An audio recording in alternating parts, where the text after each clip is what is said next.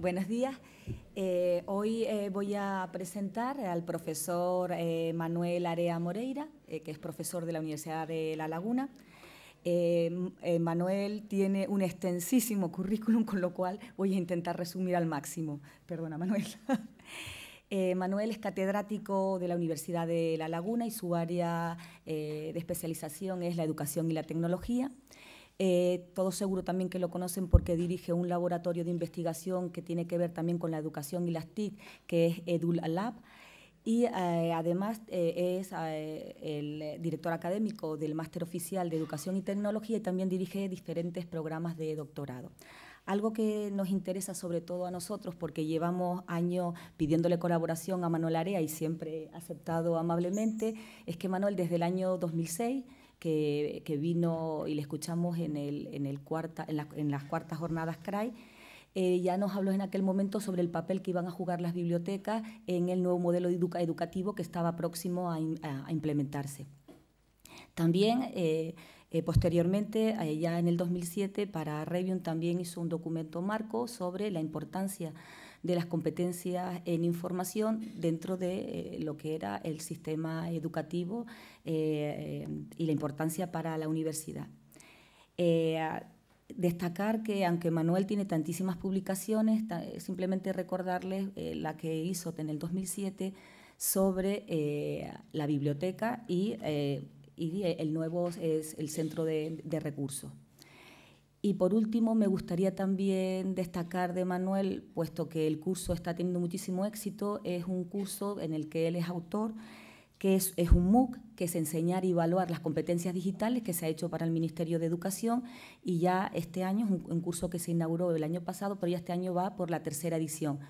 Y además se lo recomiendo con el permiso de Manuel pues darle eh, la bienvenida a Manuel y sobre todo agradecerle que cada vez que Review se pone en contacto con Manuel siempre está dispuesto a dejar otras actividades para acompañarnos. Gracias. Bueno, nada. Pues entre todo, buenos días. ¿Se, ¿Se, oye con esta? Sí. Bueno, pues buenos días y soy yo el que tiene que agradecer a Review y a toda la organización de estas decimo 14, ¿no? 14 jornadas CRAI.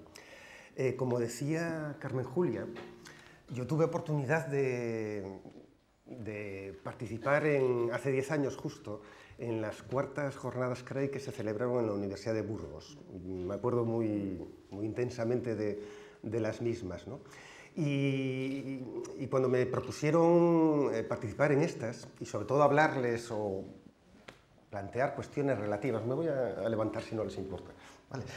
Cuando me propusieron participar en estas eh, jornadas, me, sugirieron que hiciera algún tipo de reflexión entre dos temas o dos temáticas que ustedes están abordando en estos momentos y que yo llevo ya algún tiempo trabajando, ¿no? que es eh, lo que sería docencia, formación a través de Internet, online, con lo que está siendo ahora eh, el intento de eh, formar o desarrollar lo que se conocen como las competencias digitales, en particular en estudiantes universitarios, pero en definitiva en toda la ciudadanía. ¿no?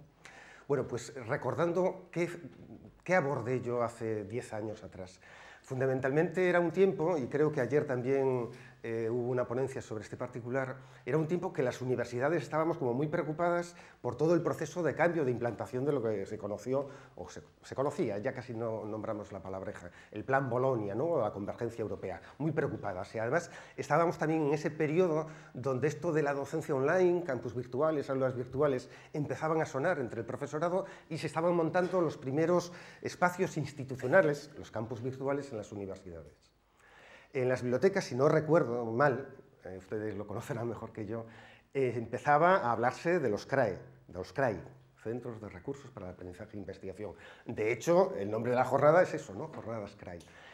Eh, diez años después, yo, al menos, al menos entre los colegas docentes, el alumnado, etcétera, nadie sabe lo que es CRAI. Lo que se le llama es la biblioteca. Me voy a la biblioteca, no me voy al CRAI. Sin embargo, sí es interesante que el modelo o las funciones supuestas que tendrían que desarrollar un CRAI están ya asumidas e implementadas, creo, eh, creo que en las bibliotecas, ¿no? y a la vez han eh, digitalizado todos sus servicios y demás. Lo que sí es importante y destacaría diez años después es que sí las bibliotecas, o al menos creo que gran parte de las bibliotecas universitarias, sí ya han desarrollado experiencias de cursos de ALFIN, de alfabetización informacional, y sobre todo un formato online. Esto era algo que en aquel momento empezaba, empezaba también a hablarse. El, el, ALFIN, eh, recuerdo que estaba muy de debate, muy de discusión, qué consistía, etc. A mí no me, confieso que no me gustaba mucho el término porque era focalizarlo en exceso en el aprendizaje de esas competencias para buscar eh, información en la red. Y yo era consciente, al menos como persona del mundo pedagógico, que además de saber buscar información habría que construirla, difundirla y comunicarla. ¿no? Y el ALFIN en eso se quedaba un poquito corto. ¿no? Bueno, diez años después, estamos ahora en Barcelona, 2016, eh, yo creo que eso, hemos avanzado en muchas de estas cuestiones que estaba apuntando y yo creo que ahora, desde lo que me pidieron o me, sugirieron, sobre todo me convencieron que viniese, yo este, este, mes es un mes bastante cargado de, tareas, de final de curso, etc. Pues lo que he intentado, eh, yo decía, no sé qué decirles a ustedes novedoso respecto a lo que decía hace 10 años, no sé en el punto en que se encuentran eh, con relación a, organizar un curso online en formato MOOC eh, para el desarrollo de la competencia digital, no lo sé. Yo lo único que voy a proporcionarles son algunas ideas y reflexiones mías particulares y, lógicamente, para discutir, debatir, o lo que hago es compartirles esas ideas. Entonces, dándole vueltas de cómo organizarlo, yo me he planteado eh, esta reflexión en cuatro episodios, cuatro capítulos, cuatro apartados, o como quieran llamarles. ¿no? El primero de ellos, que, yo creo que para mí es fundamental que cualquier educador, trabajador de la cultura, bibliotecario en este caso, cualquier persona, sujeto que quiera eh, ofertar algún tipo de formación tiene que plantearse, que es dónde estamos, ¿no? es decir, cuál es el contexto sociocultural en el que nos desenvolvemos, ¿no? es decir, cuál es nuestro presente y definirlo no solo desde un punto de vista tecnológico, sino, como digo, fundamentalmente cómo ha cambiado y se está transformando eh, la cultura y el conocimiento, la naturaleza de la, cultura, y el conocimiento. Empezaré con eso, les seguiré un segundo punto, que es una reflexión de qué entendemos por competencia digital y, sobre todo, por qué y para qué formar, en este caso, a los estudiantes universitarios avanzo de que intentaré superar, digamos, una visión de definir las competencias como microconductas. Hay una tendencia muy habitual últimamente en, la educación, y sobre todo cuando se habla de competencias, que es traducirlas, eso, a conductas o a indicadores de conducta muy precisos. Muy precisos. Yo voy a hacer una reflexión un poco más amplia y plantear la competencia digital como formación de la ciudadanía del siglo XXI. ¿Eh? una visión mucho más holística, humanística, como eh, ya, nombraré. Una tercera parte eh, es, bueno, ya que queremos enseñar o desarrollar las competencias digitales, en qué medida los entornos online pueden ayudarnos a ello. Es más, yo creo que son imprescindibles, ¿no? en el sentido de que no podemos trabajar la competencia digital si no utilizamos, er, evidentemente, herramientas digitales. Es, es de sentido común. Y acabaré con una última reflexión, y quizás la más discutible y la más débil, a punto ya, que es cuál sería el papel de las bibliotecas universitarias. Estoy convencido que ustedes, mucho mejor que yo, sabrán eh, definir el papel de las bibliotecas cara a desarrollar, trabajar la competencia digital en los estudiantes. Bueno, vamos a, a... ¿Dónde estamos? A ver, no me quiero liar mucho, no me quiero liar mucho, pero algunas ideas, notas, porque insisto, hacer una propuesta formativa en competencias digitales necesitamos conocer cuáles son las características, al menos como digo, socioculturales de la denominada sociedad de la información, o sociedad digital, o sociedad del siglo XXI. Eh, me parece fundamental, ¿no? porque en definitiva educar es formar eh, ciudadanía para el futuro, ¿no? por tanto conocer algunos trazos. Este es uno de los temas más complejos y a los que las ciencias sociales le está dedicando un tiempo muy importante desde hace 15, 20 años. ¿eh? Y ahí he puesto simplemente tres de los autores que últimamente, o como digo, en la última década, están más citados. Eh, eh, Castells, muy conocido y del país, el concepto de sociedad red, la famosa trilogía de, la sociedad red de la era de la información que publica a finales del siglo XX es un clásico y inevitablemente la referencia. Simon Bauman es otro de los autores de moda, de moda y que todos de algún modo eh, bebemos y nos inspiramos para hablar este cambio de, lo que era una sociedad moderna a esto que él denomina el concepto de líquido, que una metáfora no sé, magnífica que yo retomaré y que no voy a explicar, que creo que será muy conocido, y ya últimamente el Chulhan eh, quizás no tan extendido, pero que últimamente está cobrando fuerza en la bibliografía sobre los análisis de la sociedad más contemporánea, que nos habla, entre otras cosas, de dos conceptos interesantes que, a efectos de analizar lo que es la sociedad digital puede ser muy interesante. ¿no? Decir, nos somos como una especie de civilización que se mueve eh, no tanto como era el concepto de sociedad de, masas clásico del siglo XIX y XX, sino más bien parecemos un enjambre de, individuos conectados en redes sociales que vamos variando, de nuestros movimientos, nuestras conexiones, etcétera, y el concepto de sociedad de la transparencia. ¿no? Es decir, la tecnología trae, entre otros rasgos, la pérdida de la intimidad, que todo es de cristal, todo podemos verlo y nos pueden ver, ver y observar, etcétera. Yo voy a destacar, lógicamente, lo que tiene que ver con la cultura y el conocimiento, eh, provocado por la influencia o la omnipresencia de la tecnología digital. Eh, he destacado eh, dos términos ahí. Uno de ellos es que la tecnología, las TIC, están o han provocado un cambio muy radical, o están provocando un cambio muy radical en todo el ecosistema. Primer concepto, ¿no? el ecosistema de la cultura y el conocimiento, y sobre todo lo han provocado con una metáfora también tomada de la biología, que es como una especie invasora, las TIC, una especie invasora que ha entrado hace 15, 20 años y ha ido colonizando, colonizando absolutamente todo ese ecosistema para transformarlo, como digo, actualmente de una forma muy radical. ¿eh? Me gusta mucho esa imagen o esa metáfora de las TIC como eh, una especie que, que llega de fuera, aparece de, aparece como si fuera algo extraño y, como digo, eh, invade, invade y coloniza, coloniza y en estos momentos es, es eh, eh, muy evidente, ¿no? Muy evidente.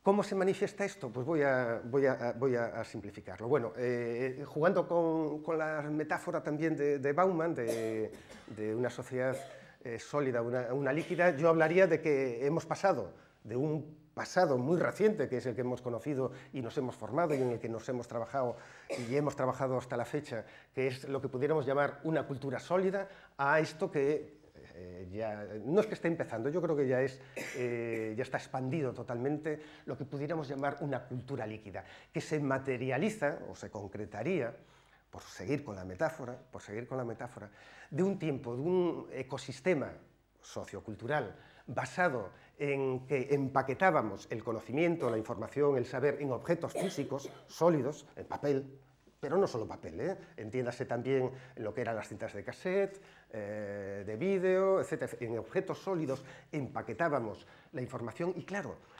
producir un objeto cultural en formato libro, eh, disco, eh, cinta, película cinematográfica, etc. Era un proceso largo, complejo, que exigía una inversión económica muy fuerte. Claro, estábamos produciendo objetos físicos que había que eh, producir en fábrica, transportarlos, almacenarlos, distribuirlos, bueno, todo muy complejo.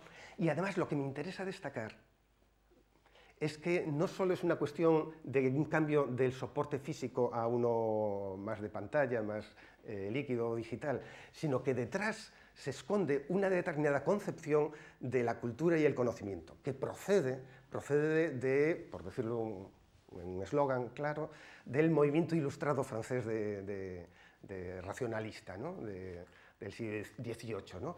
Es decir, intentar que el saber fuesen las certezas racionales, que éstas estuviesen organizadas, clasificadas, y por tanto que eh, su cambio era difícil y sobre todo respondía a un modelo de cultura del individuo. ¿eh? Yo, eh, la persona culta es una persona que dispone de su propia biblioteca en el hogar, sus propias lecturas, etcétera, etcétera, etcétera. Frente a eso, y sigo con las metáforas, el conocimiento de la cultura digital del tiempo actual es un conocimiento distribuido y diluido, por decirlo de algún modo, eh, en, las redes, en la información digitalizada. Y eso respondería, frente a un enfoque ilustrado del conocimiento, al concepto de la posmodernidad que llevamos ya, como decía, 15, 20 años discutiendo en las ciencias sociales, y caracterizado precisamente por esta eh, fluidez, digamos, de la información, de, los cambios acelerados, eh, cambiantes, eh, distribución vírica, es decir, que eh, se produce un determinado contenido y este se reproduce de forma muy fácil, no las dificultades de, producir un objeto y repetirlo y reproducirlo en una fábrica, ¿no? no es una fabricación industrializada del conocimiento, sino una distribución vírica, como ustedes ya saben. Pero bueno, no me interesa tanto eso, cómo entrar en las características específicas de, este ecosistema sociocultural. Y qué cosas distintas, novedosas, por decirlo de algún modo, innovadoras, eh, pero rupturistas de algún modo, tiene el conocimiento actual digitalizado, distribuido en las redes, etcétera, respecto al formato tradicional de los libros, CDs, eh, películas y demás, a, los eh, medios analógicos, por decirlo de algún modo. Bueno, entre otras muchas, yo no me voy a detener porque este no es, solo estoy en la primera parte, el primer episodio, es que han surgido con los medios digitales nuevas formas, formatos de representación de la información. Ya no solo el alfabético, numérico, eh, la imagen en movimiento, sino hay cantidad de nuevos elementos que ya todos ustedes conocen, ¿no? desde los hipertextos, microcontenidos, la transmedia, eh, eh, representaciones más gamificadas, 3D, etc. Evidentemente ha cambiado y esto lo habrán trabajado y leído y visto y son conscientes de que cambian también las reglas o las formas o los procesos y procedimientos para producir información eh, almacenarla, distribuirla y consumirla. ¿no? Y eso nos lleva a cantidad de conceptos que, insisto, están ahí vigentes y que todos los que nos aproximamos a esto de la cibercultura conocemos, ¿no? El prosumer, eh, la comunicación multidireccional, toda la problemática de la propiedad intelectual, copyleft, copyright, etcétera, eh, y demás. A la vez, otro elemento novedoso de este ecosistema es el crecimiento exponencial de la, de la información.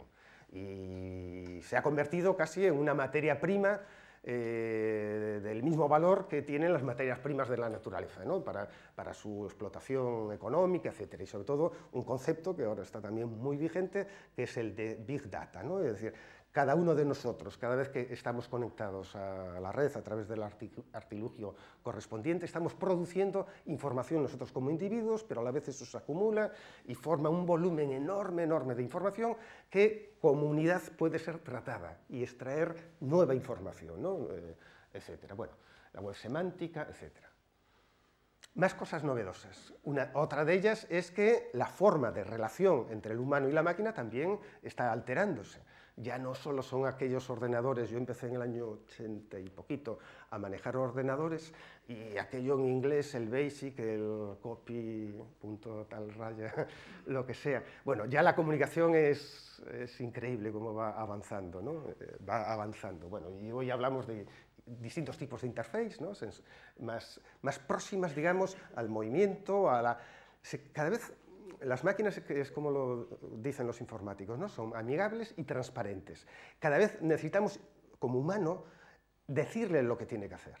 La, comunicabilidad, por emplear ese término, se aproxima cada vez más a la que tenemos con los restos de humanos. Hasta tal punto llegaremos que incluso vamos a confundir la máquina con el humano. Y en esa línea es algo que sí me gustaría destacar. ¿no? Cada vez la tecnología es más inteligente, por utilizar también el símil ¿no? de, lo, de, lo, que manejan.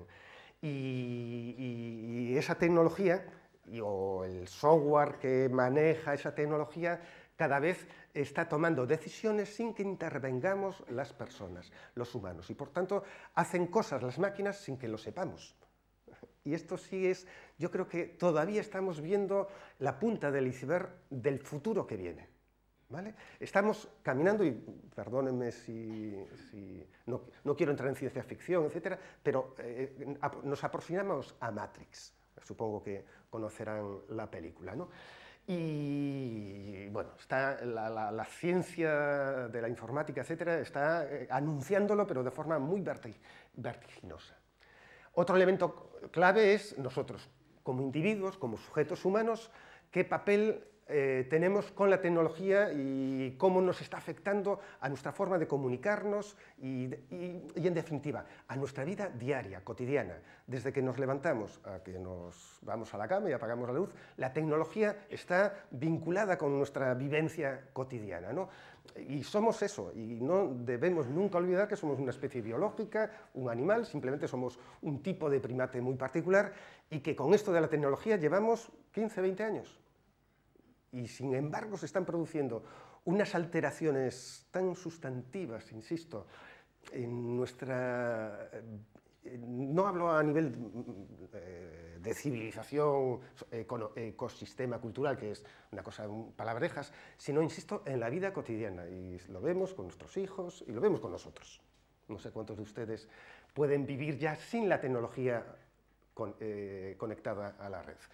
Bueno, y eso trae consecuencias que tienen que ver en la construcción de la identidad del sujeto y de la educación, etc.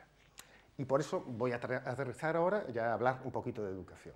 Ese era como el marco, el dibujo de donde estamos para hablar de la competencia digital. Bueno, es evidente, yo no valoro, no entro, yo creo que es un debate que no tiene mucho sentido, si es mejor eh, este modelo de, sociedad tecnológica, digital, frente a la, anterior no entremos en eso. Lo relevante es que sí es distinto. ¿eh? Estamos, como digo, en una sociedad bien distinta. Y por tanto, esta sociedad, si entre otras cosas tiene, que es más compleja respecto a la que existía cuando nacimos, y ya no digo hace 100 años o hace eh, dos siglos. Es una sociedad mucho más compleja. Y al ser una sociedad mucho más compleja, requiere una educación de los individuos, de los sujetos, también más compleja.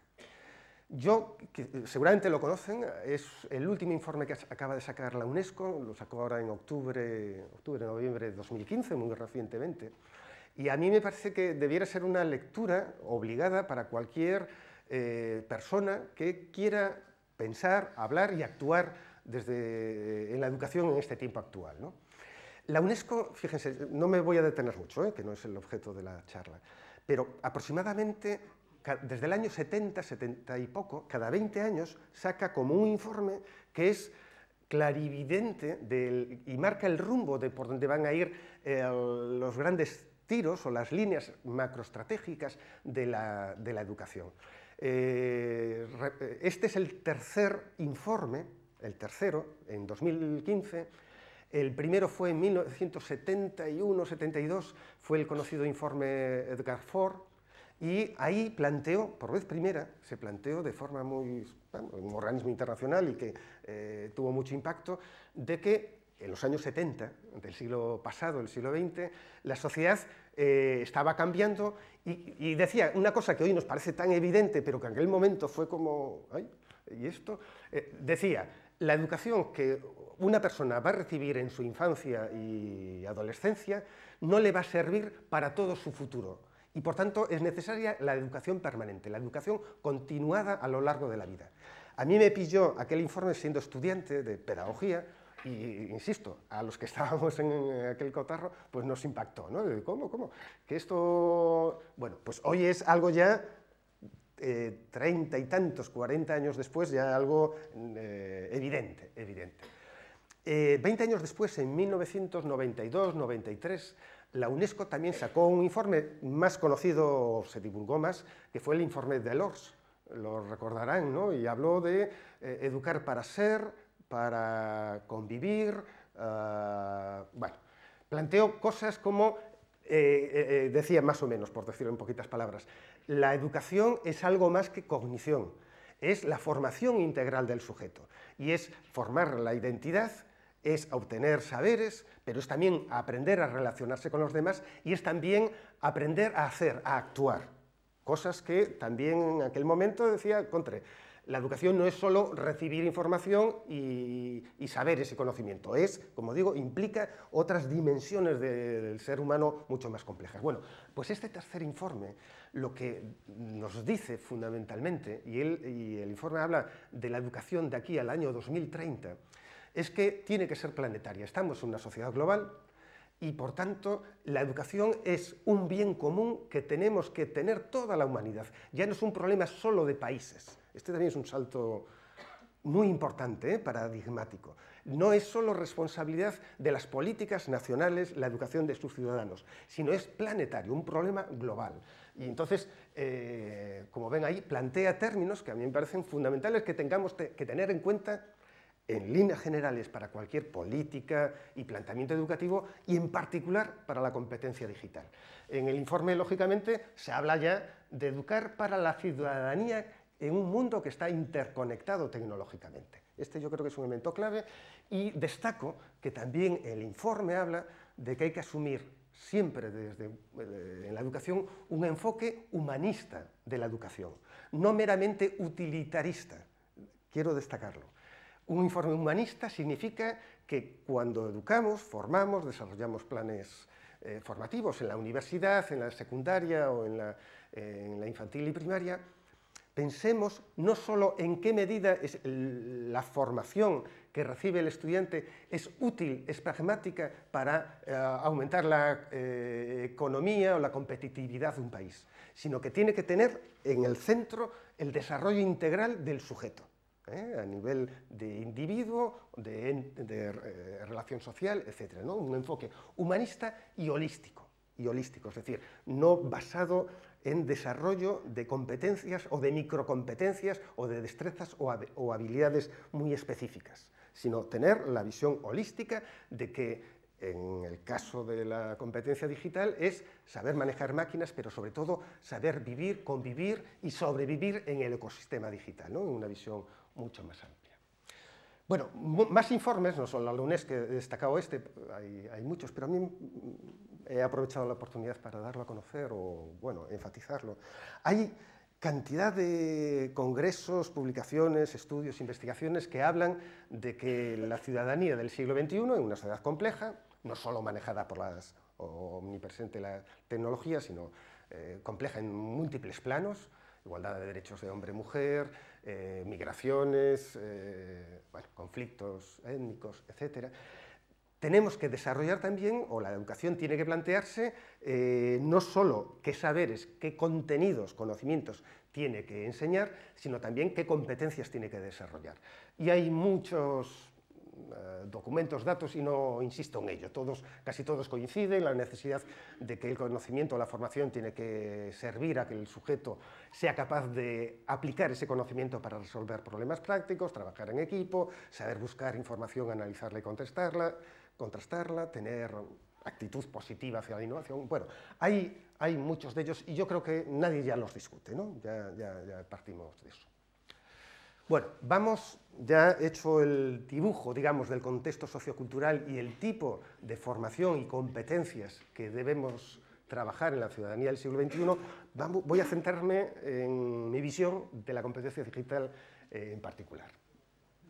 Lo primero es, ¿qué son las competencias? De verdad, eh, es una palabreja que está, insisto, de moda en toda la bibliografía, todo el mundo habla de competencias, pero cuando uno se para de tener cómo interpreta o qué sentido, enfoque le dan a la palabra, al concepto de competencias, uno encuentra cosas distintas. Básicamente, básicamente, yo oigo, leo que competencias mucha gente la entiende casi como habilidades, saber hacer cosas. Bien, lo es, pero no es, al menos en el enfoque que uno se maneja, no solo son habilidades.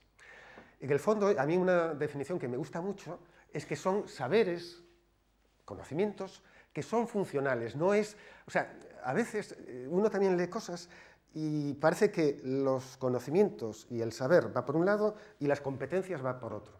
Si esto es así, yo creo que es un craso error. Es decir, tienen que ir juntos. Y yo creo que la perspectiva esta más holística del concepto competencia es vincular el conocimiento con la actuación. Y por eso hablamos de saberes funcionales, es decir, Yo poseo, necesito, si no tengo un conocimiento, no puedo ser competente en nada. Y, casi viceversa. Es decir, hacer cosas, tener habilidades, destrezas, pero sin extraer conocimiento tampoco sirve para mucho. ¿vale? Por eso, saberes funcionales. Pero saberes funcionales para actuar en situaciones problemáticas. Y a ser posible resolverlas, claro, pero poder actuar. Y pongo en letra más pequeña, en el fondo, en el fondo, esto es el instinto de supervivencia. Sobrevive el que resuelve problemas de forma competente. ¿Vale? Solo que en el tiempo actual pues, es un poquito más complejo que tal. Importante, y por eso les decía, a ver, cuando hablamos de competencias, no solo son destrezas o habilidades, eso es un aspecto o una dimensión de las competencias. A, a mí me llama la atención que se habla de competencias digitales bueno, será la competencia digital que tiene subdimensiones o aspectos o áreas concretas, pero no son competencias digitales distintas entre sí. Por eso yo quisiera destacar también de que una, cualquier competencia, no solo la digital, tendría como cinco aspectos, dimensiones, áreas, como ustedes quieran entender, eh, que, tienen, que trabajan de forma más o menos conjunta. conjunta ¿no? Una de ellas, lógicamente, es la intelectual o más cognitiva, ¿no? que es el, por eso digo, el saber. Si uno no tiene conocimientos, saberes, pues no puede aplicarlos. aplicarlos ¿no? Por tanto, eh, enfatizo eh, esta idea de que cuando se forma en competencias, entre otras eh, finalidades, es para que el alumnado obtenga, o, o quien aprende, conocimientos. Destaco esta idea. Sin conocimientos no hay aplicación adecuada. Entonces, la cognitiva o intelectual, la instrumental, que es precisamente el ser capaz de, ponerlo en ejecución, en acción, más, eh, más operativa, más de habilidades y destrezas. Por tanto, no confundamos la competencia con las habilidades. Me gustaría distinguir esto. ¿eh? Eh, otra tiene que ver, nosotros somos seres humanos y por tanto siempre actuamos en función de nuestros criterios de valor de un conjunto, de un sistema asiológico, ¿no? de valores, de lo que consideramos el bien y el mal, ¿eh? o el planteamiento ético de nuestro comportamiento. Siempre está ahí. Se haga más explícito en nuestro pensamiento, no, pero está ahí. Y el desarrollo de las competencias exige también eh, trabajar actitudes y valores, ¿eh? no lo olvidemos. A la vez hay una dimensión que siempre nos hemos olvidado eh, los educadores o las personas que trabajábamos con la cultura y el conocimiento, que son las emociones. Y cada vez toda la investigación, ya lo sabíamos casi empíricamente ¿no? en nuestra experiencia cotidiana, pero la investigación está demostrando que nuestro comportamiento depende cada vez más, en mayor medida, de la dimensión emocional que la cognitiva. Curioso, ¿no? Bueno, cada uno que lo aplique donde lo considere. Por tanto, una competencia, y entre ellas las digitales, tiene una dimensión emocional muy relevante. ¿Por qué el éxito que ha tenido con tanta facilidad las redes sociales? Porque ante todo nos provocan emociones, porque nos permiten relacionarnos, comunicarnos diariamente con quienes tenemos a nuestro alrededor, porque está esa dimensión social, social de, eh, eh, eh, socioemocional, perdón, de tal. Y lógicamente está esa otra dimensión que tiene que ver que somos sujetos en vinculación, en conexión con otros sujetos. Por tanto, la competencia actúo desde un punto de vista cognitivo, eh, en función de una serie de, valores, eh, con una dimensión emocional, pero eh, todo eso tiene efectos sociales que de algún modo influyen en, en nuestra ejecución de la competencia. Bueno, como llevo más o menos la mitad, vamos a hacer un pequeñito descanso. Y bueno, vamos a ver, ¿cómo definiríamos lo que es competencia digital? Una forma de hacerlo, lógicamente, es con microconductas, ¿no? Conductas muy concretas. Sabe hacer tal cosa con la tecnología, sabe publicar un tal, sabe buscar información, etc. Insisto, siguiendo aquel planteamiento del, del texto de la UNESCO, del informe de la UNESCO, me gustaría hacer una aproximación holística y humanística al concepto de competencia digital. Y esto implica definir, o yo al menos así lo veo, la competencia digital como la capacidad que tenemos cada sujeto, cada individuo, para participar y adaptarme exitosamente en este llamado ecosistema de la sociedad digital que, describí anteriormente. Es decir, Es competente aquel que, tiene, que es capaz de actuar activamente dentro del mismo en todos sus aspectos, ¿eh? que como vieron, fueron muchos, y eh, de algún modo lo hace de forma exitosa. Por eso es competente, competente. A la hora de intentar eso, objetivar de algún modo las características de la actuación competente digital, pues se han hecho informes distintos. Voy a nombrar dos que todos ustedes conocen. Uno es también de la UNESCO de hace ya eh, cinco años, el, proyecto MIL, ¿no? el, de Media Information Literacy. ¿no? ya lo conocen y creo que ustedes en Review estuvieron trabajando sobre esto. Y ya más recientemente eh, es el DIGCOM, ¿no? y creo que es el que ayer Ah, les presentaron, tanto en la versión de hace dos años, la 13, como la, la, que salió hace, nada, recientemente. Yo lo manejé hace pocos días todavía. Realmente entre una y otra apenas hay cambios, ¿eh?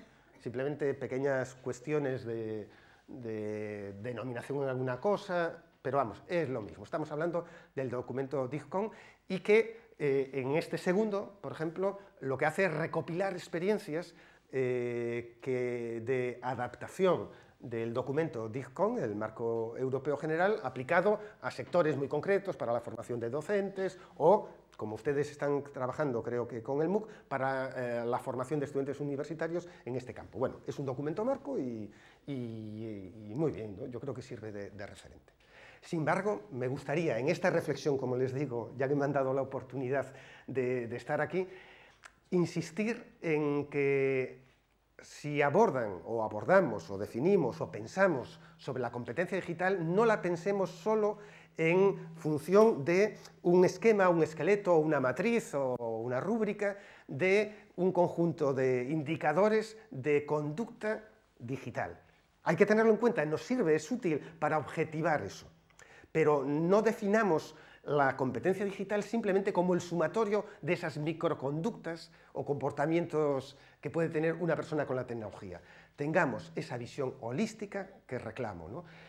He puesto, eh, a propósito, lógicamente, la foto de este pedagogo, eh, algunos supongo que lo reconocerán, Paulo Freire, pedagogo brasileño del siglo XX, muy relevante, que eh, formuló, digamos, toda una teoría, una teoría pedagógica con relación a la alfabetización. Él, lógicamente, la planteó con relación a la alfabetización propia del siglo XX, que era la lectoescritura.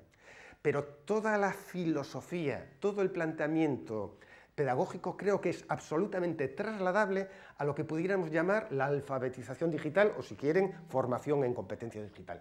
Y consiste básicamente, desde la idea, los postulados de Freire, en que alfabetizamos, él decía en lectoescritura, enseñamos a leer y escribir textos, pero en estos momentos eh, en la competencia digital, para formar ciudadanos que sean críticos, emancipados, que puedan participar activamente en la sociedad que les rodea y puedan transformarla. transformarla ¿no?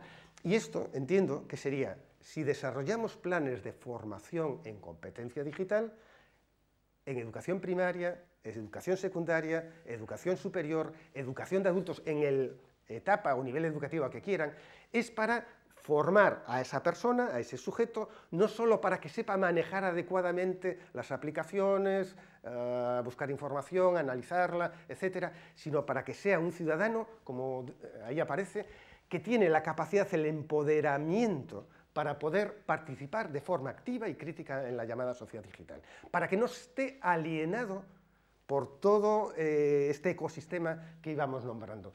Y algunos indicadores de en qué consistiría una persona competente digitalmente, pues que es capaz de tener autonomía crítica en el uso de la tecnología. Cuando digo autonomía crítica, es conciencia de que si utilizo este aparato o esta aplicación es porque me interesa para ciertos propósitos. Lo nombraré después, pero ahora lo adelanto. La autonomía crítica en el uso de la tecnología sería también aprender a desconectarse conscientemente de la tecnología cuando haga falta. Otra es, lógicamente, el tomar conciencia de que eh, soy un sujeto que vive y convive con otros en el ciberespacio y, por tanto, tengo una identidad digital. Una identidad digital que viene dada no solo por lo que yo quiero ser, sino por lo que hago en la red y, y cómo me perciben los demás eh, a mí ¿no? en la red. Bueno, convivencia democrática, asumir cierto tipo de valores de, sistema de, asiológico, seguridad y protección en la red y, lógicamente, participación activa en el conocimiento, para buscarlo, construirlo, difundirlo, etcétera, etcétera. Como ven, en el fondo, no es muy diferente del planteamiento de Dickon. Simplemente lo que hago es enfatizar esta perspectiva más de ciudadanía crítica. Es decir, me interesa trabajar, formar en competencia digital, no solo para que el sujeto sea competente para eh, aprender nuevas cosas o trabajar profesionalmente o relacionarse con los demás, sino para construir un modelo de sociedad del siglo XXI apoyado lógicamente en el ciberespacio, que sea más democrático, más participativo, más solidario. ¿eh? Es, en el fondo, hacer un planteamiento político, político de la competencia digital como formación del ciudadano de la polis. Y, por tanto, es discutir qué modelo de sociedad del siglo XXI queremos. Bueno, traducido y, lógicamente, en comportamientos, digamos, con relación a la ciudadanía en la sociedad digital, pues, lógicamente, es preparar, formar a una persona culta, culta, recupero el término este de lo que llevábamos, es una persona culta, es decir, que, que se maneja eh, de forma cómoda y, tiene, y se apropia de la cultura de su tiempo. Antes una persona culta era la que eh, dominaba y conocía muchos libros, etc. Hoy una persona culta tiene otros rasgos, ¿no? Pues, bueno, una persona culta que sabe manejarse en este, eh, en este ciberespacio que es la gran metáfora de la biblioteca universal. Borges, aquel, aquel cuento de la de la biblioteca de Babel sería la metáfora más interesante con relación a lo que es el ciberespacio como la biblioteca universal. Un sujeto que es capaz de no solo de localizar información, sino de producirla y utilizando las nuevas narrativas y los nuevos formatos de los microtextos o de las conexiones eh, hipertextuales y las formas multimedia, ya no es solo ser capaz de producir información de forma correcta con el lenguaje alfabético, sino sobre todo con podcasts, con audiovisuales, microcontenidos y saber reutilizarlos, remezclarlos, es decir, esto es también una persona culta, a la vez que es capaz de participar en el escenario de la plaza pública que representa en las redes sociales o la Internet, y esto tiene que ver, como digo, con los valores, con, las, con, un sistema de, de, asiológico de convivencia democrática con los demás, etcétera, etcétera. A la vez, yo no sé si, no recuerdo yo en el DISCON si aparece, pero yo creo que no aparece de forma muy explícita.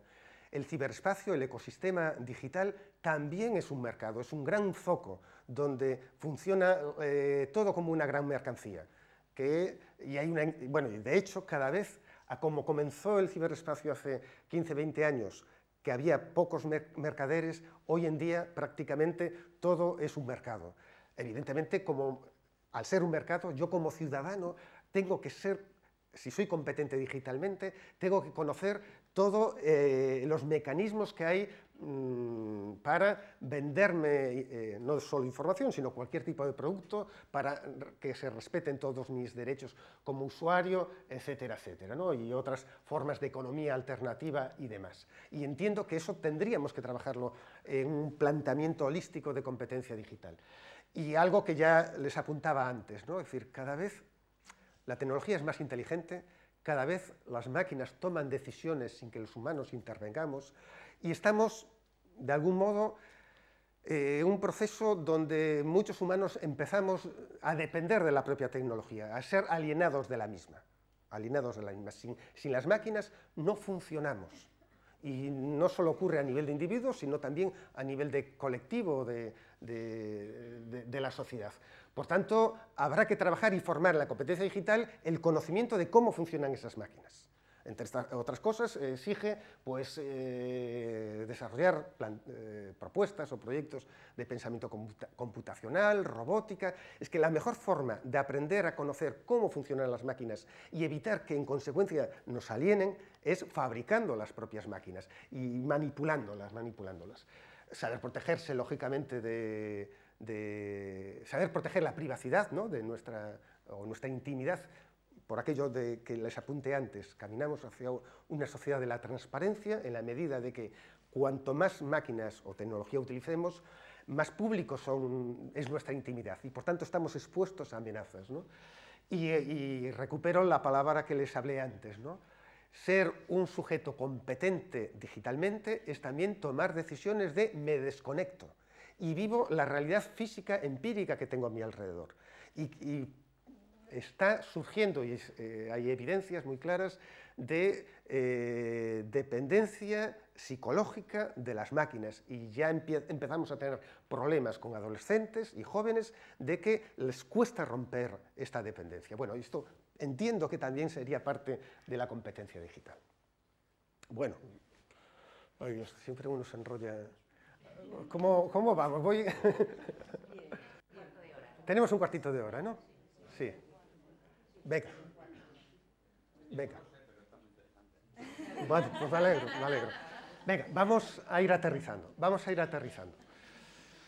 A ver, ¿qué es un entorno de enseñanza-aprendizaje online? Pues lógicamente es un espacio que está en Internet, en la web, donde sea. es un espacio online, pero que se caracteriza, a diferencia de otros espacios, a que ha sido construido intencionalmente para generar o provocar un cierto conocimiento, aprendizaje o, lo que sea. Es decir, la intencionalidad en la construcción de un entorno de aprendizaje, de enseñanza-aprendizaje online es el elemento clave. Y la intencionalidad implica inevitablemente que hay alguien, una persona, un grupo, que tiene una concepción, un diseño pedagógico de que cuando un sujeto entra en ese entorno online va a generarse ese aprendizaje inevitablemente, sea consciente o no el autor del entorno, siempre tiene un diseño pedagógico en mente. Aunque, insisto, pero la intención es que sea explícito.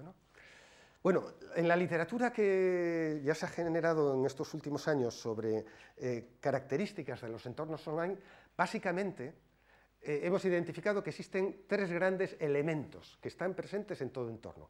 Unas veces, en mayor medida, destaca uno, otras veces otro. Lo interesante es que haya un equilibrio, como siempre, ¿no? Como siempre.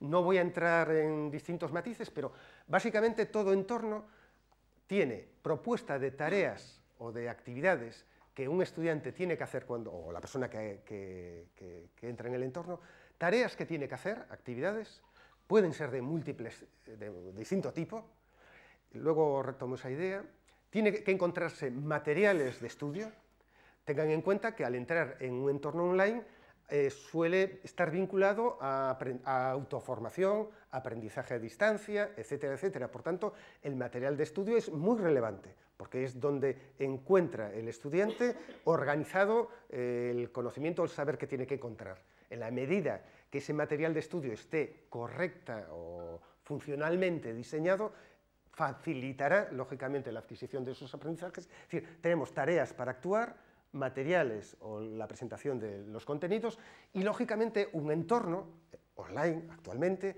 tiene que tener mucha comunicación social, comunicación entre los propios estudiantes y comunicación estudiantes-profesor. Y hay cantidad de aplicaciones, recursos que posibilitan esto. Todo recurso tendría que tener o tiene estos tres elementos. Unas veces alguno se neutraliza o es de baja intensidad y, en otros una única dimensión cobra mucho peso. Por eso podemos hablar de distintos tipos de entornos, ¿eh? en función de cómo se insertan, cómo se eh, coordinan, digamos, esos tres entornos, o se orquestan, cómo se orquestan. Lo deseable, insisto, sería un cierto equilibrio entre ambos. Bueno, otra idea clave. Las eh, competencias en general y en particular la competencia digital no se enseña de forma expositiva, sino que se obtiene a través de la práctica, a través de la acción, a través de la actividad. La competencia, como decíamos antes, era saber funcional. Los saberes, los contenidos, aislados, sin más, pueden presentarse o enseñarse expositivamente, pero si lo que queremos es que el alumnado o la persona que tal aprenda a aplicar, a actuar con ese saber, inevitablemente tiene que tener un proceso experiencial de, aprendizaje. Y eso significa, eh, como digo, desarrollar en los entornos el concepto de actividades, o e-actividades, por utilizar para hacer referencia a actividades planteadas dentro de un entorno online.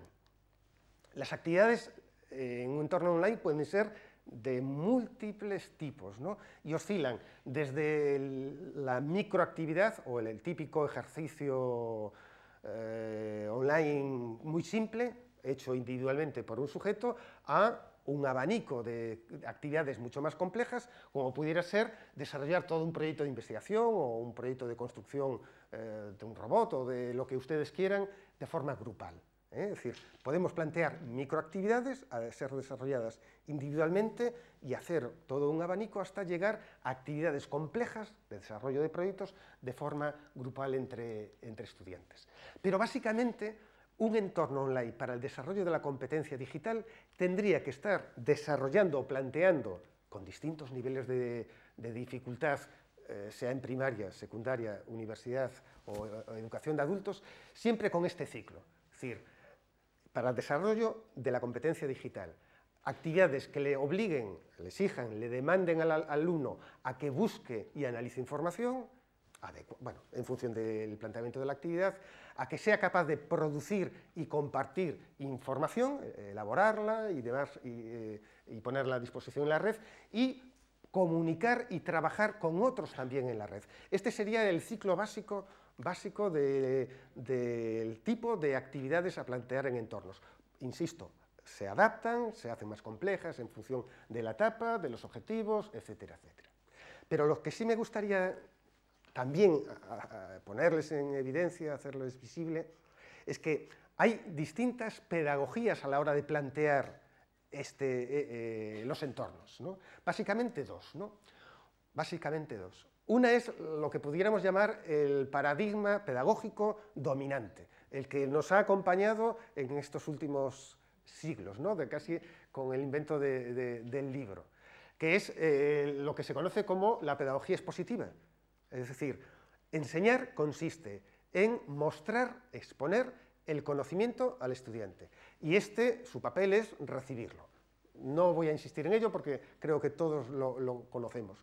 Lo que ocurre y es por eso lo destaco. Así dicho, yo creo que todos estamos de acuerdo. Lo que ocurre que muchas personas o muchos autores, cuando diseñamos entornos, aunque no queramos caer en este paradigma pedagógico, lo hacemos y no somos conscientes de ello. Por eso, eh, simplemente quisiera ponerlo sobre, eh, sobre, la mesa, como se dice.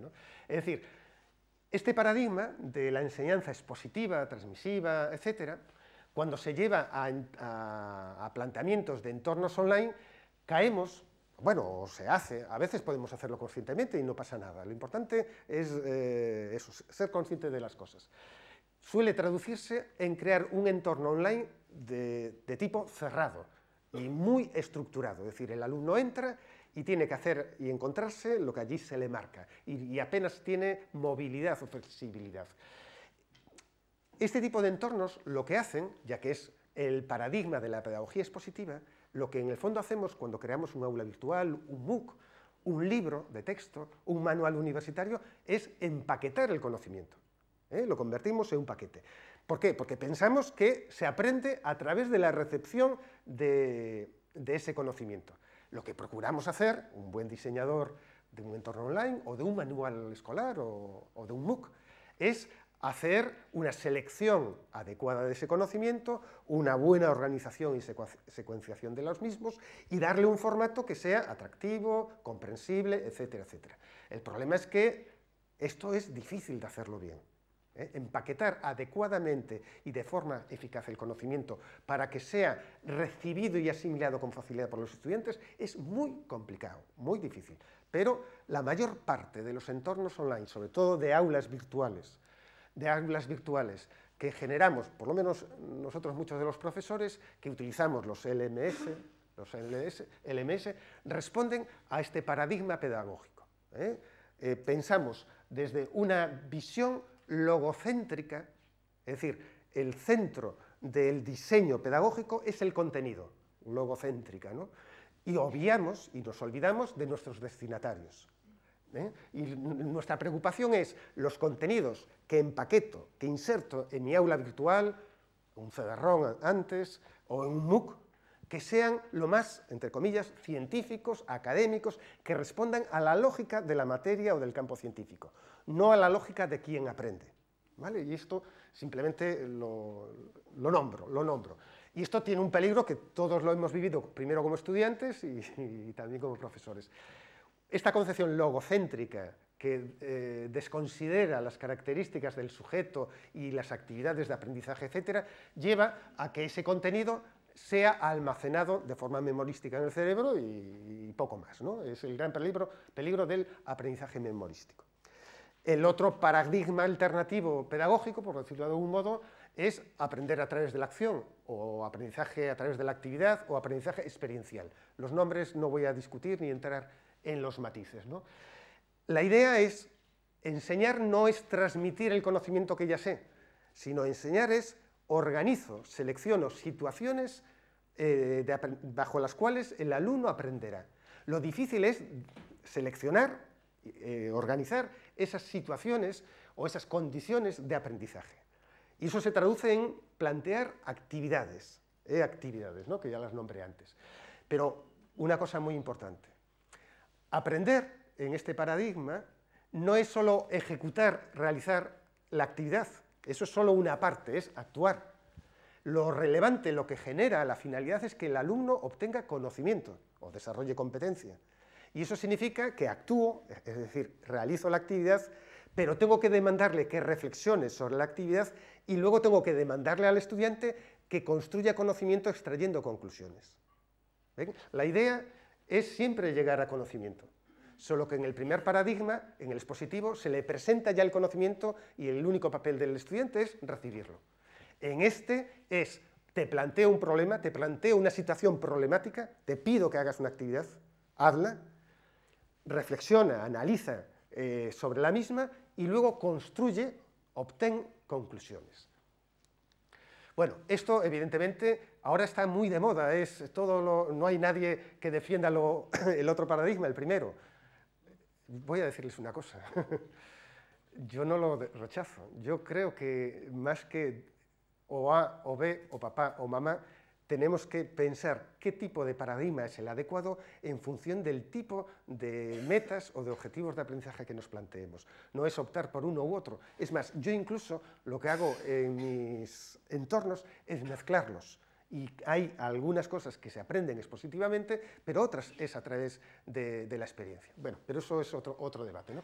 Lo que quería decirles, que está muy de moda ahora afirmar esto, eh, que la Internet y todas las nuevas metodologías eh, que favorezcan el aprendizaje por la experiencia, la construcción del saber, aprendizaje personalizado, eh, aprendizaje por proyectos. Esto tiene 100 años.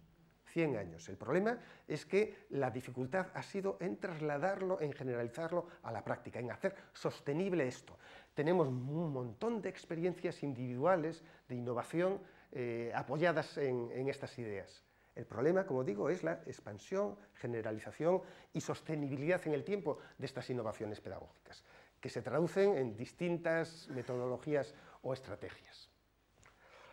Bueno, eso también lleva a que hablemos también de entornos online abiertos, eh, ya no solo cerrado el tipo aula virtual.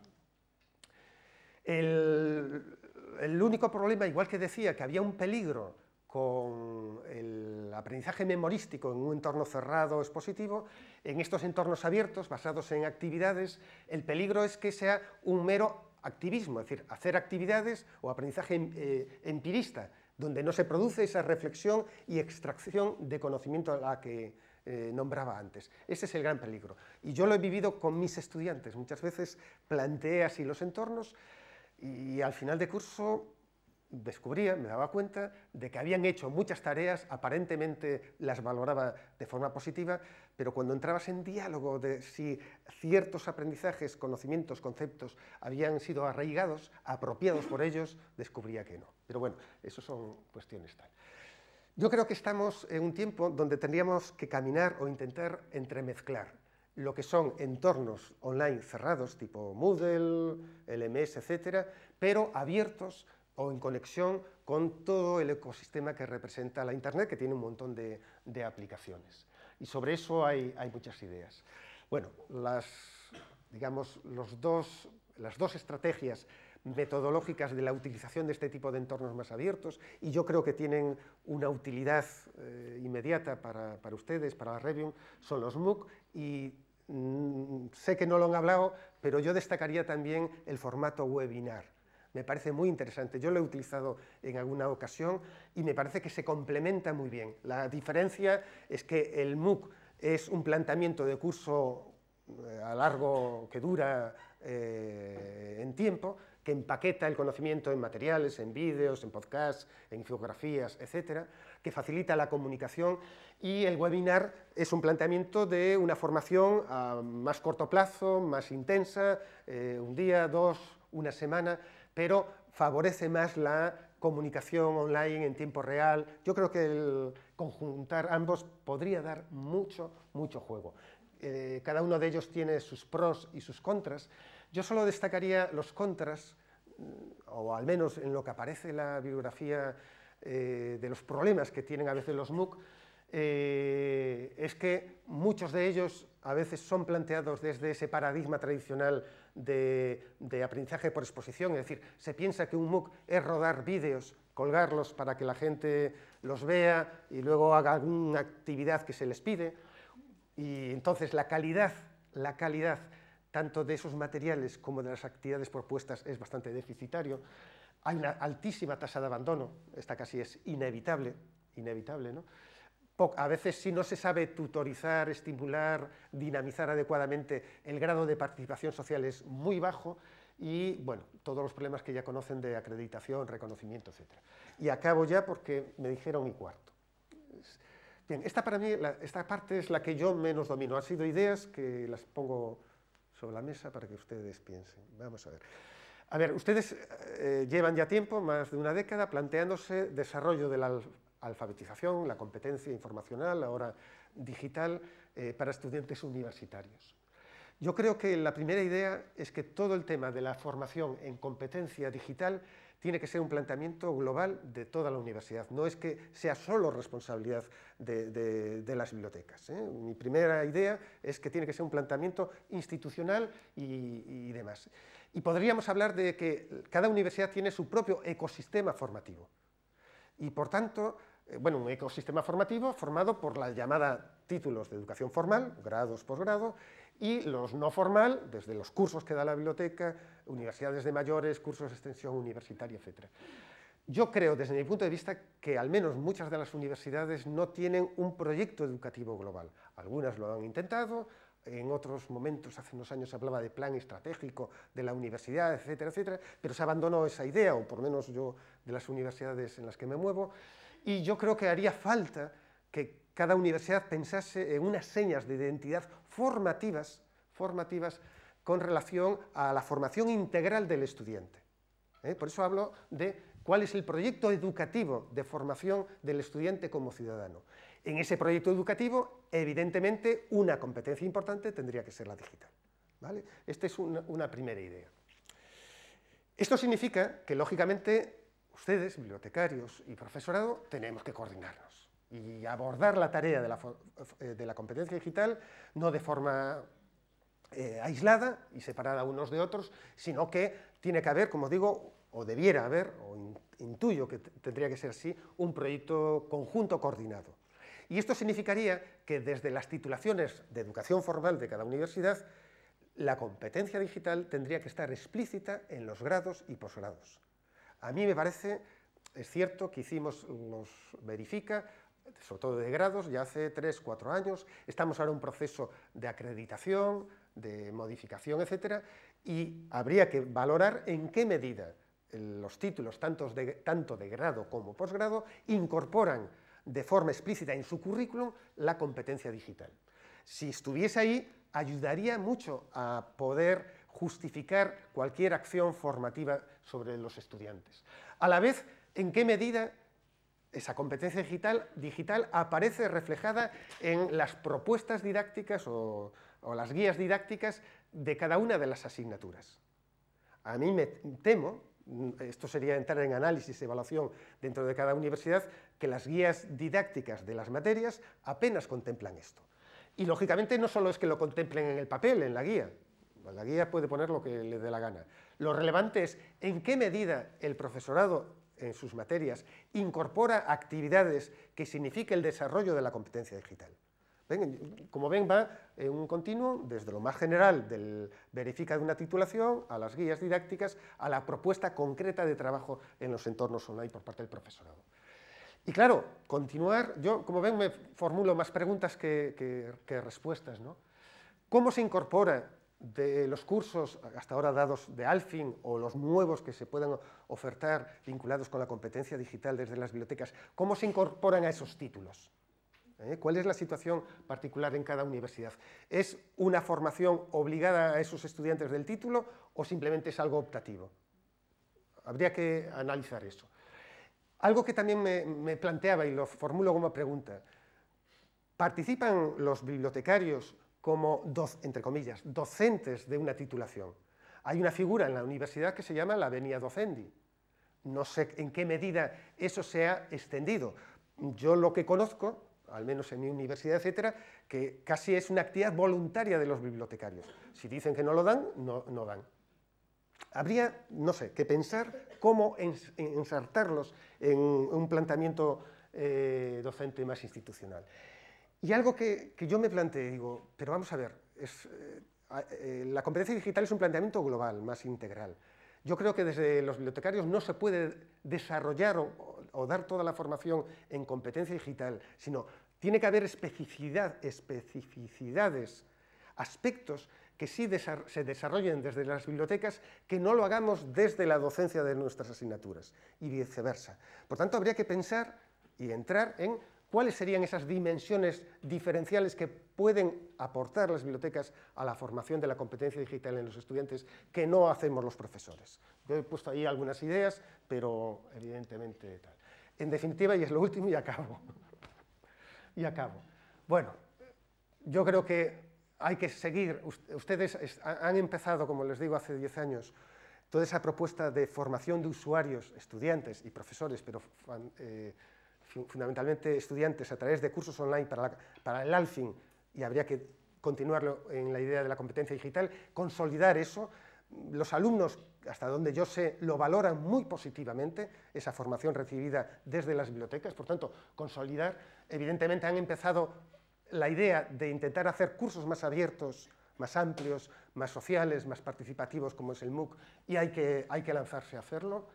Yo sugería, y les sugiero, sé que no, por lo que hablé ahora eh, estos días, que lo del webinar no lo han planteado, pero yo sí les lanzo el reto de que no lo descarten, sobre todo para formar profesorado, investigadores e incluso para formarse entre ustedes profesionalmente. Entendiendo por webinar no solo la visión más estrecha de una videoconferencia donde un experto eh, le consultan, sino un planteamiento de webinar más, más amplio, eh, que puede durar una semana o dos semanas, eh, con materiales, foros de debate, extracción de conclusiones, y algo que yo he hecho un poco de menos. Ustedes creo que podrían entrar en el proceso de crear objetos digitales de aprendizaje que ayuden a desarrollar la competencia digital y sobre todo darles forma, organizarlos a modo de biblioteca. Yo echo de menos a veces como profesor el no tener una biblioteca de recursos que ayuden a que yo pueda utilizarlos e insertarlos en la formación de mis estudiantes. Y nada más. Hasta aquí y perdonen que me haya pasado cinco minutos. Vale. ¿Eh? Bueno, pues nada, muchas gracias.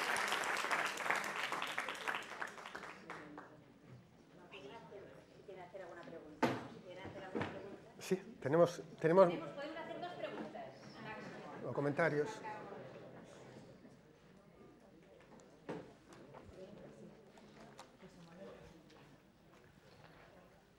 José Manuel, como no me ve, pues tiene que esperar a Barcelona para... que si no, si no nos encontramos en Mercadona... No, pero es cierto, es cierto. Bueno, antes que todo, pues por supuesto, darte las gracias por esta magnífica exposición, que siempre es un placer escucharte. Y también me ha gustado porque mm, veo que coincidimos en, el planteamiento, lo cual siempre a uno le gusta ver que alguien de tu solvencia mm, piensa lo mismo que, que uno. Y bueno, simplemente quería centrarme en una cuestión que me parece importante.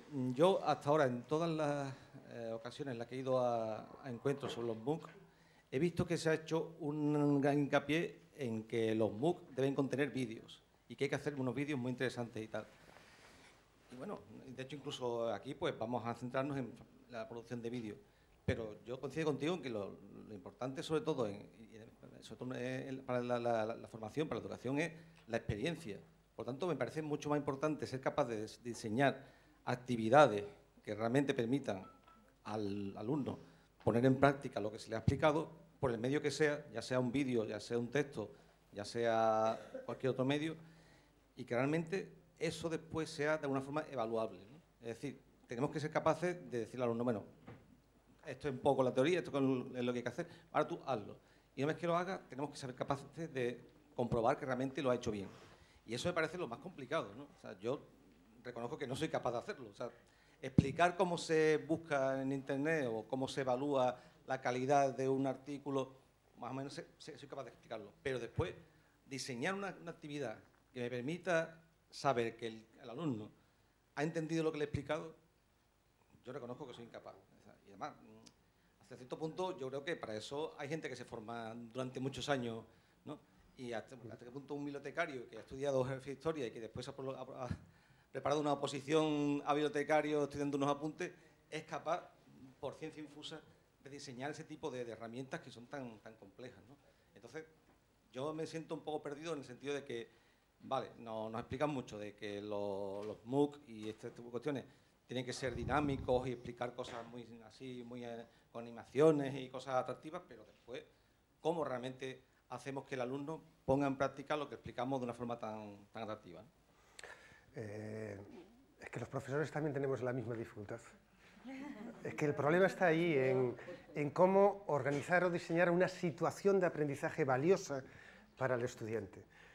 Y, insisto, simplemente por el hecho de que a uno lo contraten o entre de docente no significa que por ciencia infusa tenga esa cualidad o capacidad. Por tanto, es fruto de la experiencia, de la teoría pedagógica y demás. ¿no? Y vuelvo a insistir, y, eh, lo de antes, a mí me parece fundamental la coordinación, la colaboración y que las propuestas de formación de estudiantes universitarios tengan que ser un proyecto más global, más integral de, de la universidad si existe esta visión más institucionalizada. Insisto, es decir, hasta ahora las universidades mayoritariamente nos dedicamos, cada profesor en su nicho, en su cueva, en su aula, solo enseña y forma en el aspecto que le toca ¿no? del contenido. Pero la educación del siglo XXI, por esto de la sociedad compleja y demás, todas las tendencias van por lo holístico, ¿no? por la formación integral del sujeto. Y esto implica que los recursos humanos de la propia universidad colaboren entre sí. Es que, eh, a ver, yo llevo ya tiempo con ustedes colaborando y es, eh, no sé, una relación muy fructífera por un lado y otro, pero es una experiencia absolutamente aislada. Lo que habría que darle, como digo, el carácter institucional a, a eso y plantearse, como decía, que la formación es un problema de la universidad, no de los docentes o de los bibliotecarios por otro lado, etcétera, etcétera. Bueno, no sé, muy complicado. Venga, ¿queda para una? ¿Queda para una? Sí, todavía. ¿Sí?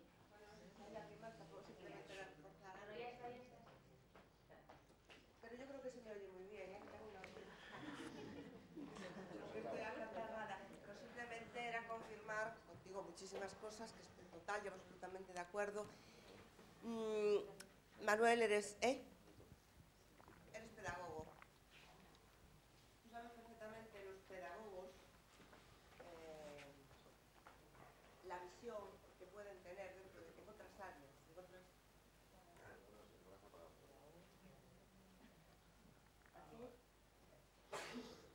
en otras áreas de conocimiento, en, otras en otros sistemas docentes. Sabes que es muy difícil el romper ese sistema, ese paradigma tradicional de, enseñanza-aprendizaje, en el cual sigue siendo muy directivo, o sea, conductista, y es muy difícil romper. Y es más, o sea, eso es una, por decirlo así, que hay una teima que tengo, no sé si como bibliotecaria o pedagoga, porque realmente ahora estoy más conectada también con, vosotros, pero es muy difícil romper eh, ese esquema eh, e introducir nuevos eh, estos modelos innovadores. Y de hecho las competencias, las bibliotecas estamos haciendo unos esfuerzos ímprobos y los deberes, creo que bien hechos, pero realmente te das cuenta que las evidencias al final están demostrando que realmente no, las aplican, porque no están integradas no está integrada dentro del modelo de docente en el profesorado. Cuando estamos todos convencidos de que son fundamentales, o sea, son eh, este, este, en, estos momentos y cara al futuro y por todo lo que acabas de exponer. O sea que yo creo que es una batalla eh, bastante... Bueno, y, seguro que estás de acuerdo. Eh, pero mira, esto está ya muy estudiado. Es decir, los cambios tecnológicos son muy rápidos. Los cambios de innovación de las mentalidades y de las prácticas coherentes con esas mentalidades son muy lentos. Está muy estudiado. Y además está escrito ya en muchos sitios, ¿no? Somos la primera generación de la humanidad que asistimos en nuestra vida a un profundo cambio social. Es decir, los cambios sociales provocados por la tecnología, desde el invento de, la rueda, del fuego, del reloj, del libro, etcétera, eh, en el momento que aparecieron no generaron un cambio social rápido, sino que fue lento, muy lento. Entonces hubo una adaptación de las distintas generaciones y una asimilización, una adaptación mental fácil, o sea, eh, eh, evolucionó de forma paralela. Sin embargo, nosotros piensen en la tecnología que existía cuando éramos niños y la tecnología actual que hay. Cómo era el mundo, la cultura, eh, de la televisión hace X eh, años a hoy. Es decir, la tecnología está provocando cambios muy acelerados, solo que en nuestras, como digo, nuestras concepciones, en este caso profesionales, que es a lo que te refieres, ¿no? Eh, siguen vinculadas con nuestra experiencia de cómo éramos como, aprendices. Es decir, los estudios dicen que normalmente un profesor o profesora enseña tal como aprendió. ¿eh? Eh, eh, lo imita inconscientemente. Entonces, durante generaciones hemos aprendido a través de este paradigma, por eso decía dominante, de alguien me muestra la información, me la, empaqueta, un libro, etcétera, y yo accedo a ella y considero que como eso me sirvió a mí, es como va a servir a mis estudiantes. Esto tiene una serie de consecuencias que no vamos a entrar en ahora, etcétera, etcétera. Y Sí, sí, sí. Sí, sí, sí. Lo que ocurre, fíjate, tiene 100 años lo de eh, toda la teoría tal, pero yo creo que gracias a la tecnología digital estamos en condiciones de poder expandirlo y extender ese nuevo modelo. Y yo creo que eso, experiencias como la, la, propuesta de MOOCs son ejemplos de que algo está cambiando en estas concepciones, pero son lentas, son lentas. Bueno, yo creo que ya no. no, a. No, agradecerles.